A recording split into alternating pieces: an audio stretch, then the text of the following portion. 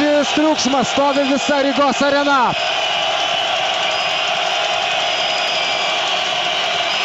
Mišulo gražins kamolį.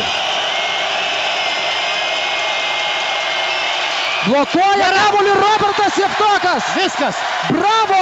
Tokia drama išgyveno šiandien.